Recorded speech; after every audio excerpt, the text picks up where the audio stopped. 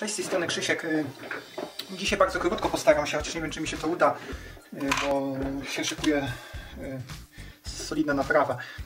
Tu jest drugi ESC rozczłonkowany, ten ESC jest. Musiałem tak zrobić, gdyż po prostu szybciej mi było sprawdzić na części tej pły- płytki, czy mam e, zwarę gdzieś tutaj, czy, czy ona występuje na tych elementach. I teraz, żeby to w ogóle cokolwiek sprawdzić, e, e, musiałem sobie takie igiełki, no, igły, igły do szycia, zrobiłem sobie po prostu e, mikrosondy, bo te piny są tak malutkie i muszę po prostu posprawdzać. Dobra, tak na szybko, czyli wiem, że kondensatory mam dobre. Odlutowałem kłady Fiora i BB. Wiem, że Grand przebiega tędyk przez środek.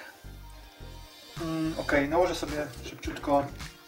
Lutuję te dwa, a później sobie z powrotem je przylutuję. Jak mi się uda namierzyć, jeżeli chodzi tutaj, jeżeli tutaj dotyczy to tej ścieżki, czyli tego elementu, to później tylko będę musiał mm, układ Fortiona z powrotem, czyli pierw zaprogramować go, później układ Fortiona sobie. Ok, zobaczymy idzie tędyk tędyk tu mam jeszcze coś.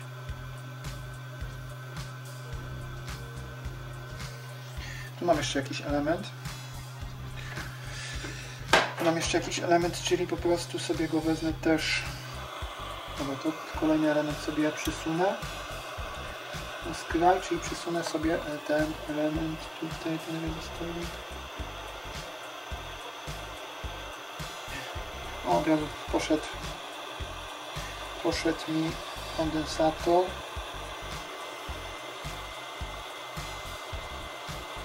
Ale prawie rezystory mam tu.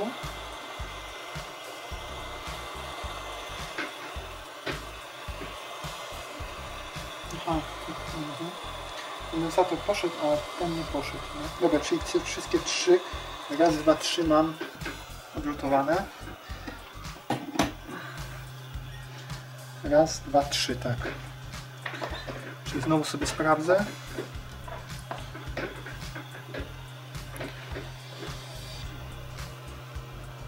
Tu mam też grant.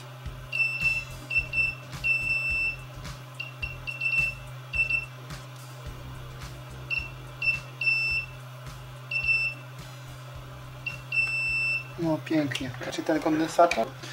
Czyli co zrobimy? Teraz potrzebuję usunąć tego potrzebuję usunąć.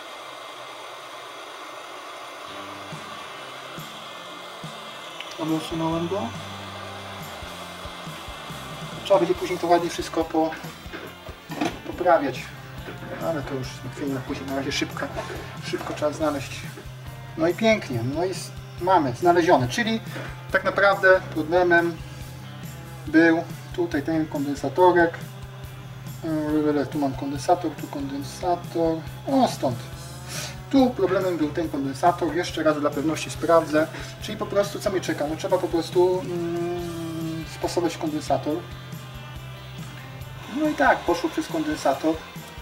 Tutaj ten regulator to jest historia spalonego silnika, czyli już teraz wiem dlaczego dlaczego spaliło, czy uszkodziło BB. Dobra, y, teraz powinniśmy mieć wartości, tak? Czyli mamy wartość, nie mamy zwarcia, mamy no, ten sam ground doci- dociskam, kurde. Mamy wartość, no, nie mamy, czyli jest ok. Dobra, to jest y, ten ESC, to jest ten ESC, na razie go odłożę. Ten ESC, o kurde, dobra. Y, Pamiętaj zawsze jak łapiemy tymi, y, jeżeli macie też łapki, żeby się w konia nie zrobić taśmą izolacyjną, bo przecież łapki to element metalowy, one będą zbierać i będą Was wprowadzać w błąd. Y, Teraz y, druga rzecz, aha, FC. FC, co się dzieje z FC? Y, Wezmę sobie, rozłączę już mikrokamerę na razie. Co się dzieje z FC? Mm, No FC po prostu nie odpowiada. Mam ap aplikację tutaj wgraną, bardzo fajną aplikację, polecam ją. Ona się nazywa mm, SpeedyB, to jest taki jakby odpowiednik yy, mm, Betafly, no kurczę. No i teraz podłączę sobie podłączę sobie TFC TFC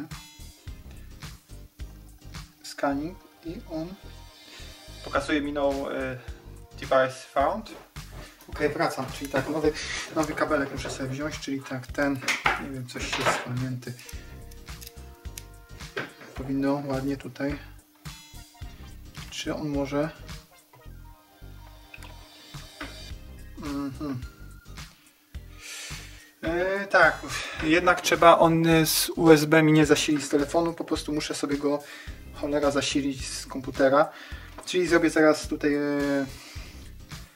osobny filmik. Ok, wracam po przerwie i sprawdzę sobie mniej więcej mm, TFC, o co, o co mi chodzi. Teraz tak, ten FC. Cyk. Close. Connecting. Aktywny, dobra. Jest aktywny. Tak to mniej więcej wygląda. I teraz disconnect. Schowam go sobie. Uszkodzone FC.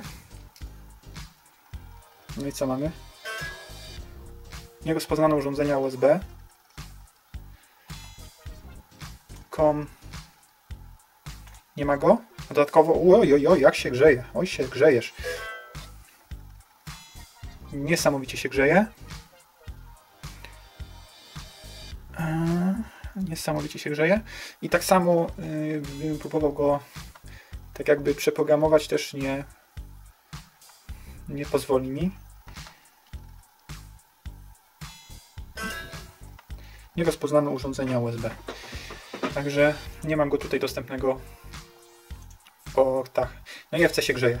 No i teraz, dobra, co może być przyczyną? Przyczyną może być yy, yy, jakiś mały element, czy, ale zacząłbym sobie sprawdzać pierw od yy, yy, po zdarzeniu, które miałem, czyli to był mocny upadek, tak, trzaśnięcie, yy, żyroskop, Akcelerometr? tak, yy, na końcu FC, jeżeli tutaj nie odlutuje, pójdzie, to będę wiedział, że żyroskop. Sprawdzę sobie też tutaj na pewno na wstępie, jeszcze przed tym wszystkim sobie sprawdzę zasila, zasilanie tego, tutaj, ten regulator.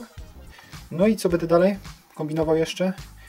No i coś tu jeszcze będę kombinował. Będę na pewno szukał, ale obstawiam raz, dwa, trzy elementy i po kolei, tak jak na ESC, będę po prostu po kolei wylutowywał, bo nie będę szukał grzeba po kartach katalogowych, bo jest to FC dostępny i gdybał, a który to pin mógł siąść, tak?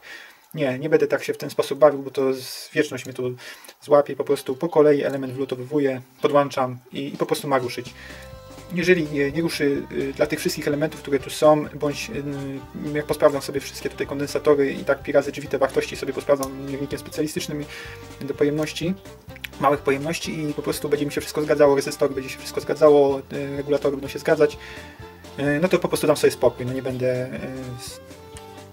To była szybka akcja, dobra, teraz już pokazuję co, co było co muszę zamówić, co zamawiam. Dosłownie zamawiam, bo sprawdzałem ile FC kosztuje nowy, no, y, no w sensie mikrochip, tak, FC TM405, coś, tak, sprawdziłem sobie ten element, on mi po prostu piszczał. I teraz, yy, czyli po prostu zwarcie, tak, yy, tu mam, tu mam wejście tego, kurczę tego regulatora. No, widać wszystko? Widać. Dobra, czyli mam tak, tu mam yy, wejście, wyjście i ground. Dobra, czyli robię sobie cyk, cyk. No, nie, trzeba nagrzać, bo znowu Flixpasta po prostu się zrobiła... Co jeszcze odlutowywałem? Odlutowywałem, teraz pokażę, tylko sobie podgrzeję szybciutko. E, cyk, cyk, ok. Czyli tak, e, sprawdzę sobie, mam tutaj ground i mam ten stąd sobie zrobić trzeba. Nie wiem, czy to będzie widać. No mamy wartość, powiedzmy, jakąś tam to jest e, półprzewodnik, tak, czyli on zawsze ma jakąś tam wartość. No i teraz w tą stronę też ma jakąś wartość, ale nie piszczy, czyli już nie mamy zwarcia. Na zwarcie mieliśmy na tym, na tym FC mieliśmy tutaj zwarcie. Także FC do zamówienia. E, sprawdzałem także tutaj ten regulator. Mówię sobie ten regulator, ten o tutaj.